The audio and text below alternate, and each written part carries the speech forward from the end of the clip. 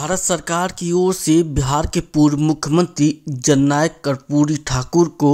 भारत रत्न देने की घोषणा की गई है जिसके बाद सविता समाज में खुशी की लहर देखने को मिल रही है समाज के लोगों ने जमकर आतिशबाजी की देखिए पूरा वीडियो